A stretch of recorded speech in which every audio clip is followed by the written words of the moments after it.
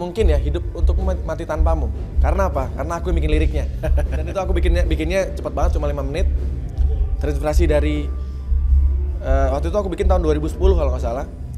Terinspirasi dari kisah cintanya yang ngerti lah. Oh, Saat iya. itu.